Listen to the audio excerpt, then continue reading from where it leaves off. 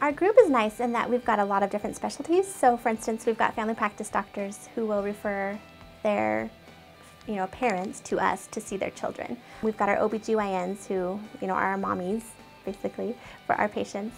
And then we've got ear, nose, and throat, so they see a lot of our children for, you know, to put in their ear tubes or to take out their tonsils and things. We also have the pain medicine doctor that we don't use quite as much with pediatrics, but he's there for a lot of the families. It's a very nice community. And we have something called CMG Plus, which is really nice because our patients can see a provider in our office when the office is closed. So it's our after hours clinic. All of the notes are in one place. We can see the child's chart has everything in it. It's very complete, so it's very nice um, to be able to kind of communicate back and forth with different doctors and to have it all in one place. It's very nice.